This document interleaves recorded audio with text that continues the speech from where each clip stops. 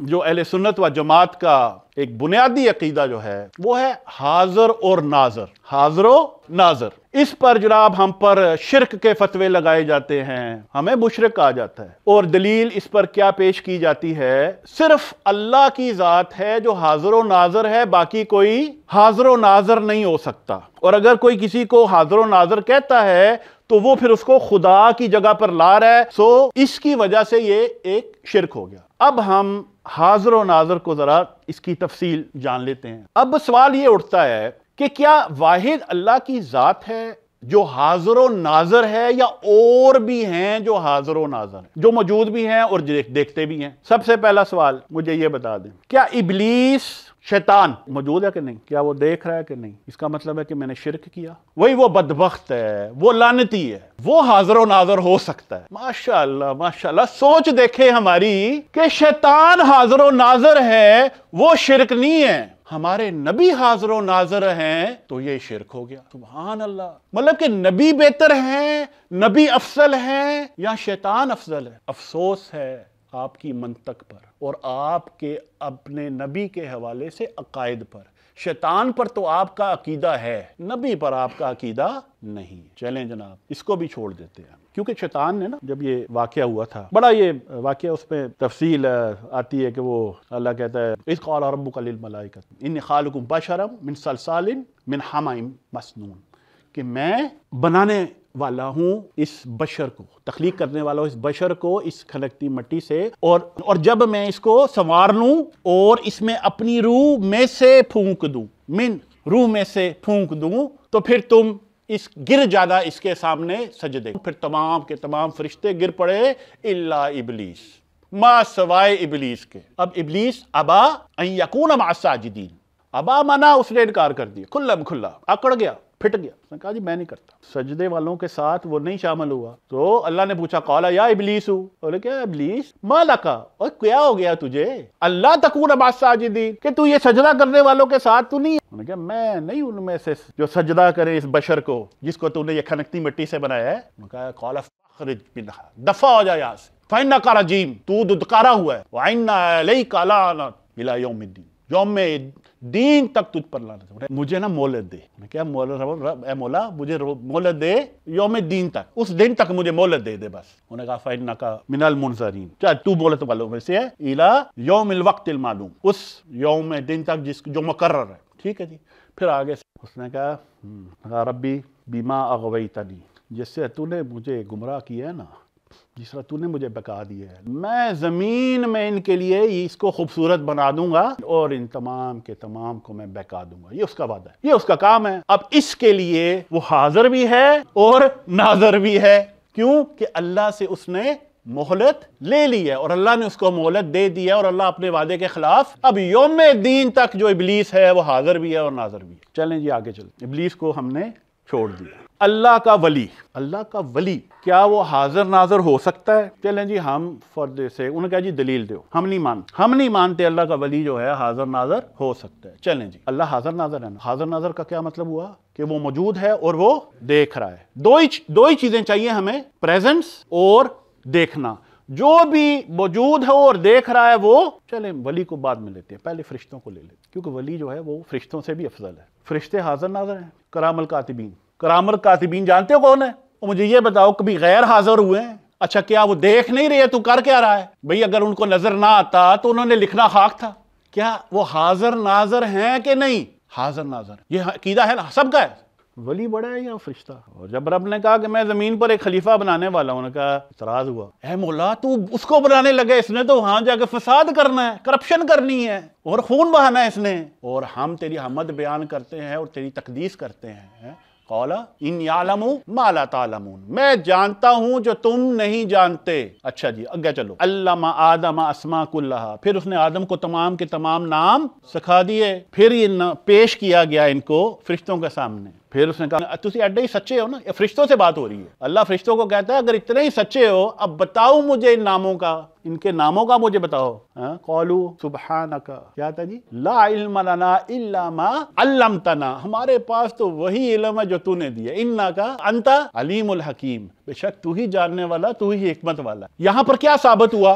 आदम ज़्यादा जानता है या फरिश्ता? आदम ज़्यादा जानता है। और फिर अल्लाह ने कहा, और फिर फिरतों को कहा भी करो। यानी कि जो अल्लाह के मुकर्रब और महबूब बंदे हैं, वो ज़्यादा अफजल हैं या ये फरिश्ते अफजल हैं? क्या सजदा आदम ने किया था फरिश्तों को या फरिश्तों ने किया था आदम को? यानी आदम अफजल है।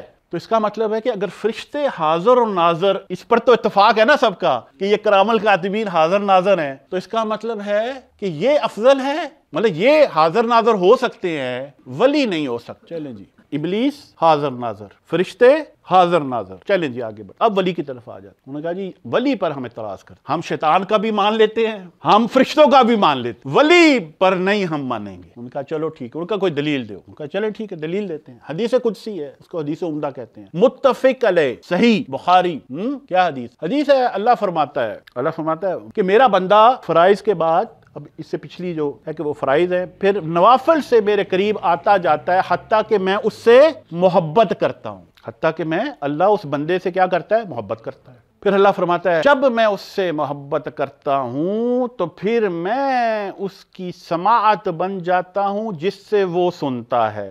सो अल्लाह का महबूब बंदा, अल्लाह का वली, ये जो हदीस शुरू होती है ना तो सबसे पहले ज़िक्र ही वली का है। वमान आद अली वलीन कि जिसने भी मेरे वली से दुश्मनी की तो फिर मेरा उसके साथ ऐलान जंग है। और फिर आगे डेफिनेशन आ रही है। अल्लाह बयान करे कि वली है कौन? अल्लाह फरमाता है कि मैं उससे मोहब्बत करता हूँ तो मैं उसकी समात बन जाता हूँ। मुझे ये बताएँ, अल्लाह की समात, कोई ऐसी जगह है जहाँ अल्लाह नहीं सुन रहा? तो जो अल्लाह की समात से सुनता है वो वो तो सुन रहा है। अच्छा आगे, और मैं उसकी आँख बन जाता हूँ जिससे वो देखता है, उसकी बसीरत बन जाता हूँ।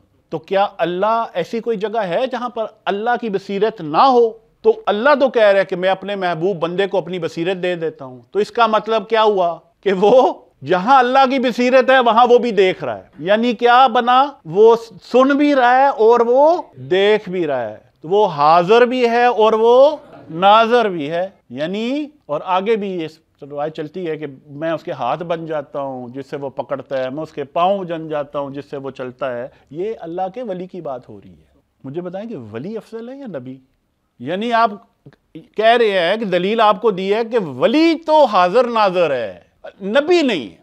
शैतान हाजिर नाजर, फरिश्ते हाजिर नाजर, वली हाजिर नाजर, और नबी नहीं जी, नहीं, नबी हाजिर नाजर नहीं। चलो, यहाँ तक पहुँच गए हैं, आगे चलते हैं। अब आते हैं रसूल करीम सल्लल्लाहु अलैहि वसल्लम आपकी तरफ़।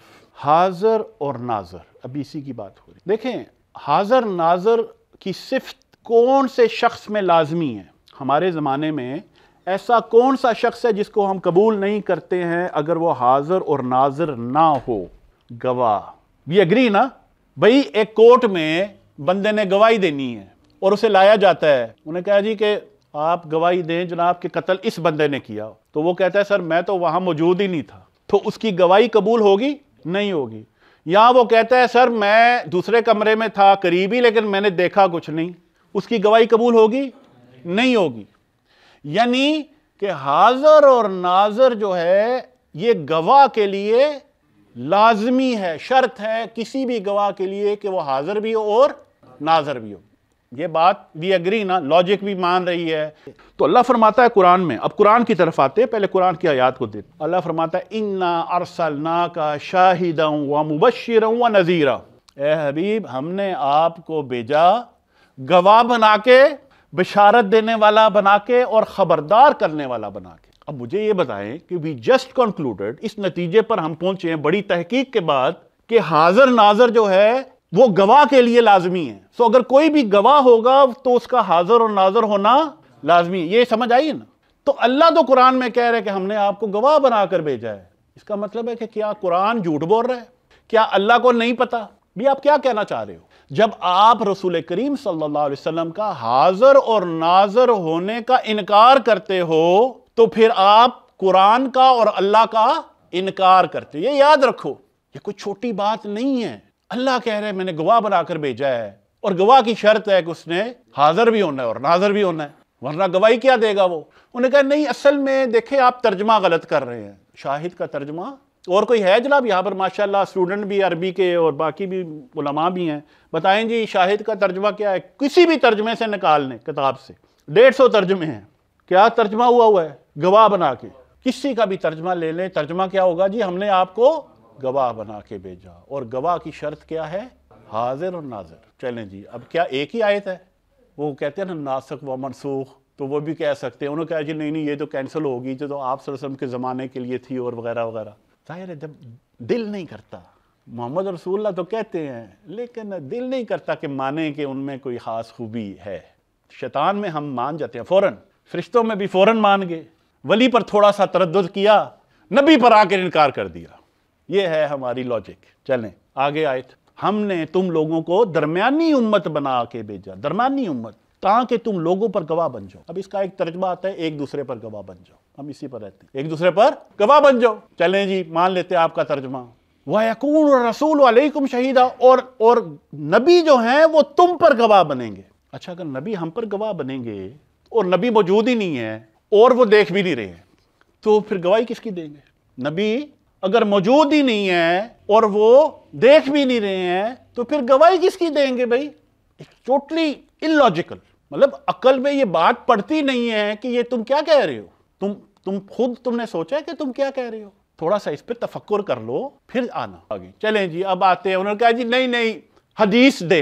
हमारे, और वल्ला ही ऐसे ही होता है। कुरान उनको पढ़ के सुनाओ, वो कहते हैं, नहीं नहीं नहीं, कुरान के बाद हदीस दलील बनती है। जब कुरान की आयत आ जाती है तो बाकी सारी दलीलें सेकेंडरी हैं। लेकिन हमारे यहाँ, माशाल्लाह उन्हें कहा, नहीं नहीं नहीं, हमें हदीस चाहिए। कुरान काफ़ी नहीं है। कहा, चलो, ठीक है। उन्होंने कहा, जी, हदीस भी सही देनी है। मैं ये, हम नहीं हम नहीं मानते हैं जनाब ये सूफियों की हदीसें। उन्होंने कहा, बुखारी शरीफ को मानते हो?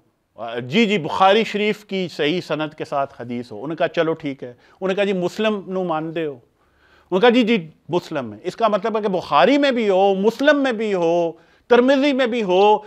उन्होंने कहा, जी जी, फिर तो फिर तो मुतफ़ लय है ना? तो आप वसल्लम मिंबर पर खड़े हुए। मिंबर पर आप तशरीफ़। और ये बड़ी मतलब इतनी ज़्यादा इसकी रवायतें है इस हदीस की। तो फरमाते हैं इन फ़ारतुल्लकुम व अना शाहिदुन अलैकुम।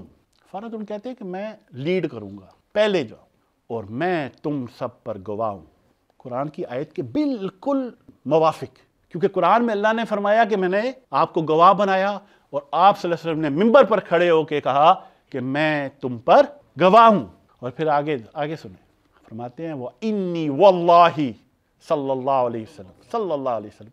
फरमाते हैं इन्नी वल्लाही मुझे अल्लाह की कसम है ला अनजुरु इला हौदी अल आन। अल आन। मैं इस वक्त मिंबर पर खड़ा होके इस वक्त अपने हौद को देख रहा हूँ। अच्छा मदीना में खड़े होके हौजे कोसर को देख सकते हैं मदीना से इस्लामाबाद को नहीं देख सकते। तो अब हमने कुरान और हदीस। दोनों से ये वाजे कर दिया कि आप वसल्लम को क्या बना के बेचा गया? गवाह। और मदीना में खड़े होके आप पूरी कायनात को देख रहे हैं। अब है कि देख कैसे रहे हैं? ये जो है, लाजमी है हमारे लिए जानना कि देख कैसे रहे हैं। एक वली कैसे देखता है? सीधी इमाम फ़खरुद्दीन अपने कलाम शराबुलवसल में, जो सीधी जो जो सिलसिला बुरहानिया के शेख तरीक़त, जो सीधी इब्राहिम दसूकी के खलीफा है, आप अपने कलाम उनका शराबुलवसल बड़ा मरूफ है। तो आप कलाम पढ़ते हैं?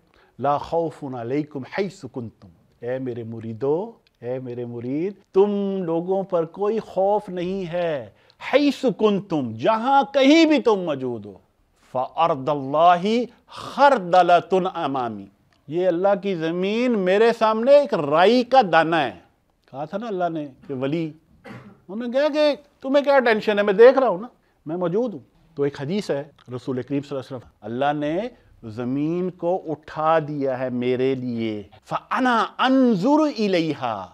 सो मैं इसकी तरह किसको देख रहा हूँ? अल्लाह ने पेश कर दिया है। मैं देख रहा हूँ और हर उस चीज़ को देख रहा हूँ, क्योंकि आप कहते हैं मतलब आप एक दलील बना, उन्होंने कहा, जी ये तो उसी वक्त तक था जब तक आप थे। तो हदीस कह रही है कि मैं उस हर चीज़ को देख रहा हूँ जो योम में क्यामत तक इसमें होने वाली है हाँ? अनजुरु कफ़ी हादी ही ऐसे ही जैसे मैं अपनी इस हथेली को देख रहा हूँ। सो आज हम इस नतीजे पर पहुँचे हैं कि शैतान हाजर नाजर। फरिश्ते हाजर नाजर। अल्लाह का वली हाजर नाजर। तो अल्लाह के नबी, ये अहल सुन्नत व जमात का बुनियादी अकीदा है।